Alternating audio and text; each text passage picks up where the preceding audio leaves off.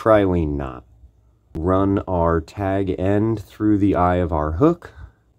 We're going to pull so much of that out 10 inches or so. Run it back through the hook the same way that we started. We're going to cinch that loop down until it's being held with our thumb and it's about the size of a penny. Take the tag end, wrap it around the main line.